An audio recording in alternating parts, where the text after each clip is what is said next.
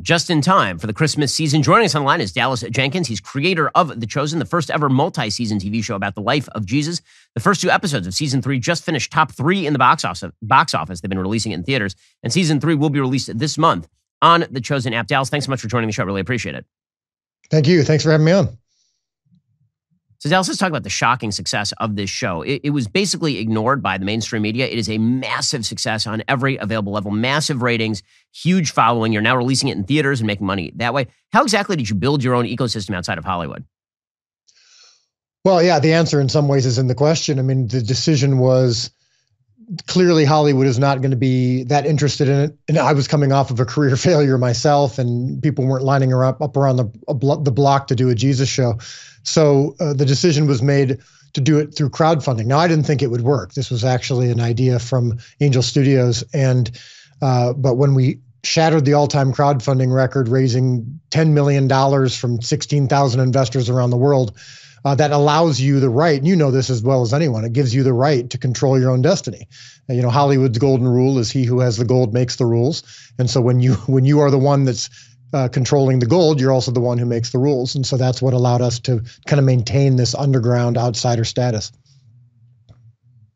And Dallas, one of the things that's kind of amazing is how little of this sort of content has been presented to the, the Western public over the course of the last 40 years. If you go back 50, 60 years, you used to see Hollywood producing this kind of stuff all the time. And Ben Hur won a massive number of Oscars because it was a movie that was largely about the origins of Christianity. You had movies like The Robe that were about the origins of Christianity. I mean, there were tons of these films that were coming out in the 40s, 50s, and then it sort of died off in the 60s with the with the decline of religion in the West. And and now this is a wildly underserved audience. It's pretty incredible that that nobody just for the money of it has decided to get into this business. right. Yeah. Uh, from a strictly financial perspective, you'd think there would be more attention given towards it, but that's the thing. And this is one of the things that I say when when we when, when sometimes we we complain about Hollywood. Is I sometimes say, well.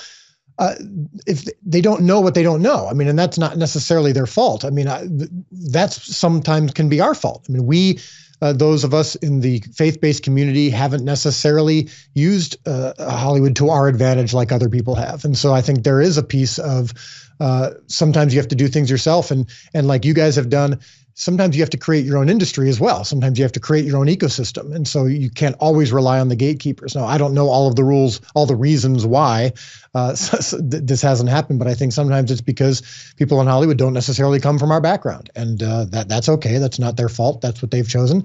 And uh, so I think we've, in many ways, had to do it ourselves instead of waiting around. I'd like to compare it to uh, the, the concept of you know, back in the day when the king would lower his scepter to allow you into his hallowed hall, uh, instead of waiting around for someone else to lower the scepter, sometimes you have to just go ahead and create your own hallowed hall.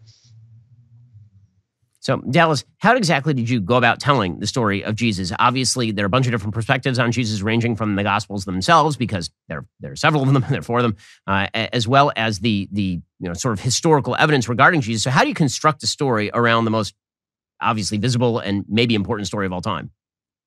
Well, we, we do start with the Bible. That is our primary source of truth and inspiration. But in our show, because it's a multi season show, this isn't a movie or miniseries where you have a little less time. Most of those go from miracle to miracle, Bible verse to Bible verse. Well, we're constructing a, sh- a multi season show where you have more time to develop some backstory, some cultural context, historical context. So we start with the Bible. But then there's also, as you know, many, many uh, other historical documents about that time period. And, and so we, we start with documents and you know cultural context you know historical context and then it's a lot of artistic imagination. And i personally of course as a believer want to never contradict the character or intentions of jesus in the gospels um, so when I start with that as the premise, then even the artistic imagination we apply to it and the time that we have to take building the characters, building the backstory, building the context, I'm still operating it through that lens. So not everything in the show is fact, of course. It is a fictionalized account, uh, and some people call it fan fiction. I think that's a fair, a fair st- uh, uh, claim because I am a fan. Uh, but uh, we are still trying to make sure that we stay within certain boundaries. We don't want to contradict the character, character and intentions, even if at times we're doing things that we don't know are fact. We'll get to more on this in just one moment. First, look your best this holiday season with Genucel Skincare. Now through Christmas, Genucel's most popular package is 70% off. This includes two months worth of Genucel's bestsellers, plus their hyaluronic acid serum free with your purchase. I got Genucel years ago. My wife used it. My mom still uses Genucel. A lot of people in my family use Genucel because, frankly, it makes them look better. Genucel uses a proprietary base with clinical levels of botanical extracts, which come together to yield amazing results. Genucel products are natural, cruelty free, and made in the United States. Treat yourself and a loved one to the skincare that'll take years off your skin.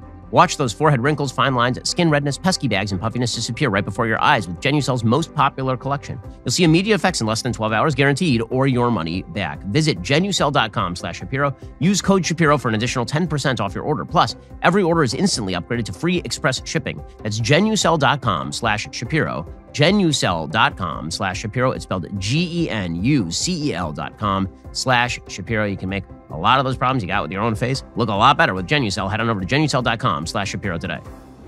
So, Dallas, one of the key issues in the show, obviously, is that Jesus is a Jew. So, how do you deal with the, the Judaism of Jesus and the Jewishness of the people who surround him, the sort of Christian versus Jew dichotomy in the show? How do you how do you do that?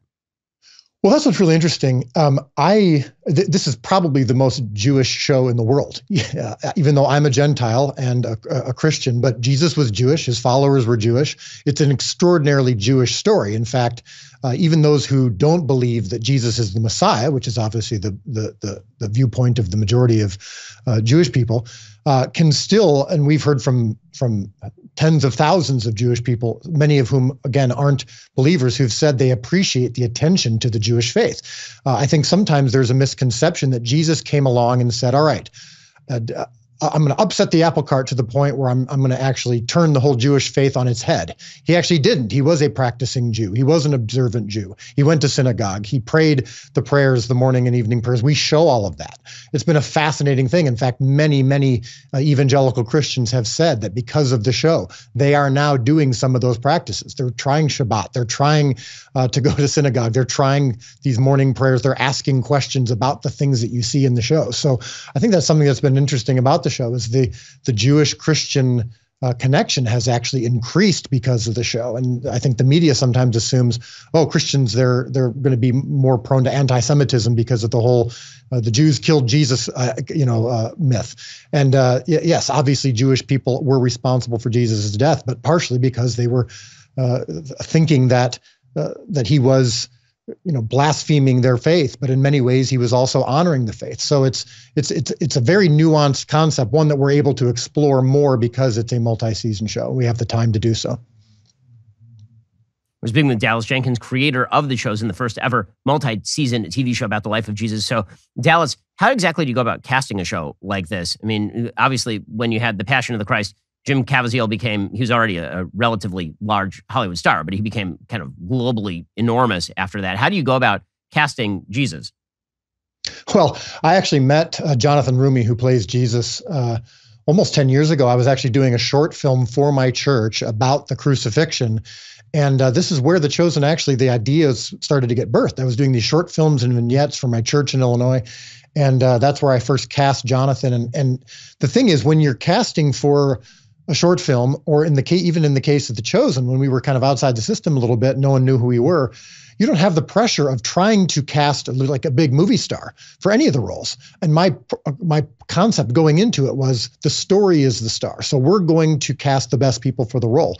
Now, when you're casting for the best people in the role of that uh, of a show that takes place in first century Galilee, the concept of Europeans, you know, white people, traditional white people, just doesn't make sense. And that's actually one of the things that I think has actually caused a little bit of this divide over the years, uh, sometimes even between Christians and Jews, is because the portrayal of Jesus has oftentimes been Aryan, this, you know, white European. And that's not accurate. We're trying to make an accurate show. So we're looking for people who look ethnic, who have olive skin or dark skin. That's kind of our, uh, our, our operating principle in addition to talent. So when you're actually going for the best person for the job, regardless, and you're not looking for any other uh, this, uh, concept besides that, you're looking for people who fit the role, and that's going to be in look and in uh, the level of charisma. So with with uh, with Jesus, the, the cool thing about Jonathan is he's got that combination of masculinity with gentleness, the combination of of humor, because uh, we're again we're going for a, a, an accurately human portrayal of this. So uh, it's been it's been challenging in the sense that you know we want to make sure that we're ethnically accurate, but at the same time it's been freeing. We're not trying to fit any other category. That's Dallas Jenkins, creator of The Chosen. If you are a Christian or if you're just interested in the in the New Testament, it is definitely worth the watch. Dallas, really appreciate the time and great to have you on the show. Alrighty, guys, the rest of the show is continuing right now. You're not going to want to miss it. We'll be getting to California considering slavery reparations could cost hundreds of billions of dollars. If you're not a member, click the link in the description and join us.